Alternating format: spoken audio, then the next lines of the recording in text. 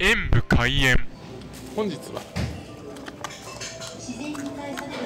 ちらローソンの安納芋の芋よつかんを食べたいと思います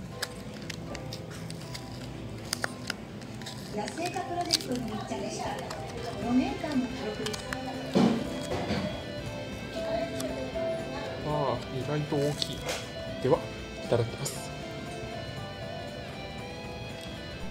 豊かって風味がなんですね。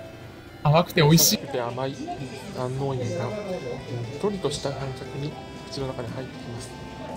羊羹というよりは栗きんとんのそのままのような印象ですが美味しかったです。栗が欲しくなってきました。